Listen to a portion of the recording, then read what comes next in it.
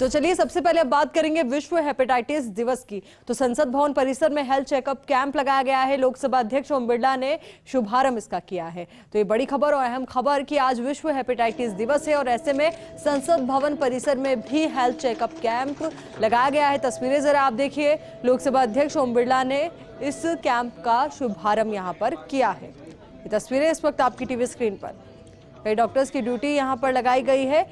तो वहीं डॉक्टर्स की टीम जो एमपीज का हेल्थ चेक करेगी और यही वजह है कि कोशिश और कवायद यही कि सभी का हेल्थ यहाँ पर चेक किया जाए, हेल्थ चेकअप उनका किया जाए और लोकसभा अध्यक्ष ओम बिरला ने इस हेल्थ चेकअप कैंप का शुभारंभ किया है। लोकसभा अध्यक्ष ओम बिरला आपको तस्वीरों में नज़र भी आ रहे हैं।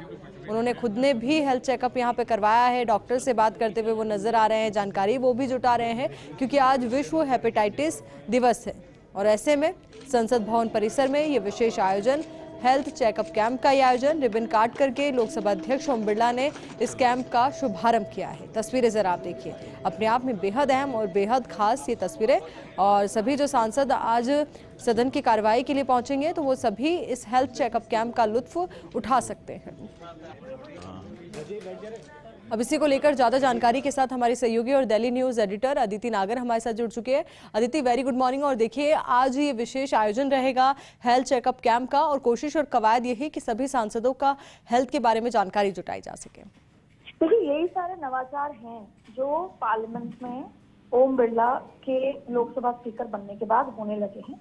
रोज कुछ ना कुछ इनोवेटिव चीज़ें होती हैं। पहले बहुत सारी चीज़ें पहले भी होती थी, लेकिन अगर आज की बात करें तो विश्व हेपेटाइटिस दिवस में आज और आज के दिन ही हेपेटाइटिस दिवस पर हेल्थ चेकअप कैंप का आयोजन किया गया है पार्लियामेंट संसद भवन में।